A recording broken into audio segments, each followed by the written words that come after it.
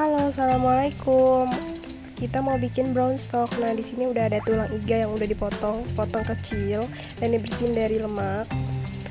Lalu yang kedua, di sini ada uh, mirpoik sayur-sayurannya ditambah titik kering dan margarin nanti buat um, membrowning dagingnya. Kemudian yang terakhir kita punya pasta tomat.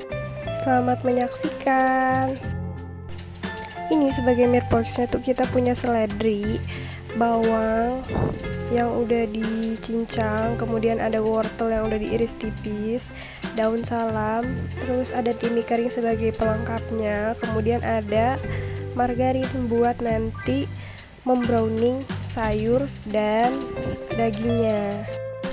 Ini ada tulang iga sapi yang udah dipotong kecil-kecil uh, sesuai dengan ukurannya kemudian dibersihkan sudah dibersihkan dari minyak-minyak. Untuk takarannya sendiri udah aku tulisin di sini. Untuk step pertama kita panasin dulu margarinnya di teflon untuk browning si tulang tadi. Untuk step selanjutnya kita masukkan daging ke dalam pan yang sudah kita olesi margarin satu persatu sampai semuanya masuk. Selama proses browning ini jangan lupa dibalik-balik agar enggak gosong. Proses ini dilakukan sampai warnanya berubah menjadi kecoklatan. Ini hasil yang sudah tadi ditaruh. Step selanjutnya setelah tulang menjadi berwarna kecoklatan kita didihkan air di atas panci sebanyak 2 liter. Oke lanjut. Setelah kita masukkan air 2 liter tadi kita siapkan tulangnya yang tadi sudah di browning dan sudah berwarna kecoklatan.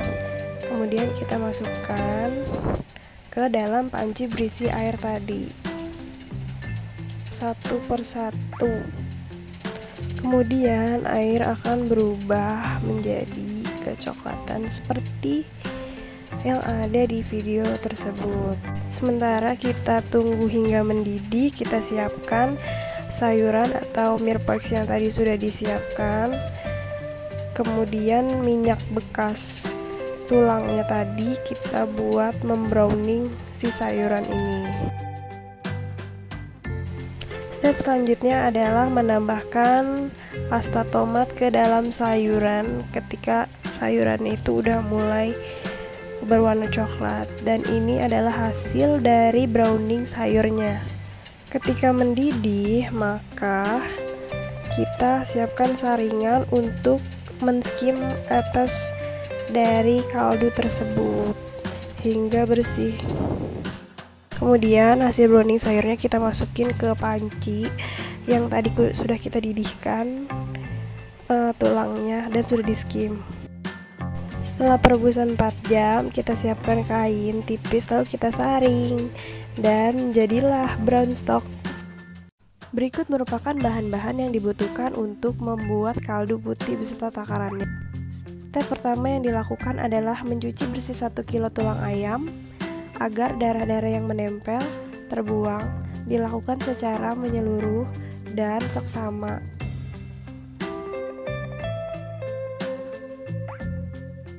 Kemudian hasil cucian kita masukkan ke dalam panci yang telah disiapkan.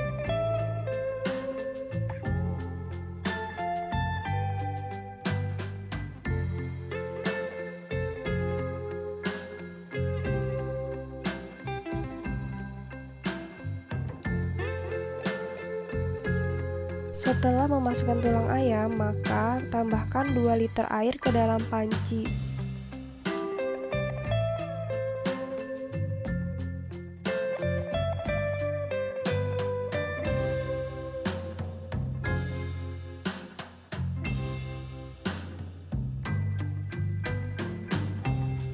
Pastikan tulang ayam ditutupi oleh permukaan air. Kemudian, setelah mendidih, buang buih-buih yang ada di atas dengan cara menskim. Caranya menyiapkan saringan, lalu kita saring buih-buih yang ada di atas tersebut secara keseluruhan dan bersih. Setelah melakukan proses skim, kita masukkan sayuran mirpoix dan beberapa bumbu tambahan lainnya seperti yang telah disebutkan ke dalam panci. Rebus kembali setelah 4 jam. Hasilnya kita saring menggunakan kain tipis agar tulangnya tidak ikut. Kemudian kita peras dan jadilah kaldu. Berikut ini adalah hasil dari brown stock dan white stock. Berikut merupakan bahan dan takaran untuk membuat mayones. Langkah pertama adalah pastikan kecepatan mixernya itu di paling rendah atau kecepatan 1. Lalu mixer 3 kuning telur hingga mengembang. Selanjutnya adalah memasukkan cuka ke dalam telur yang sudah mengembang dan kemudian di mixer satu arah secara pelan-pelan hingga tercampur rata. Step selanjutnya adalah masukkan garam secukupnya ke dalam mixer telur tadi yang sudah ditambahkan cuka.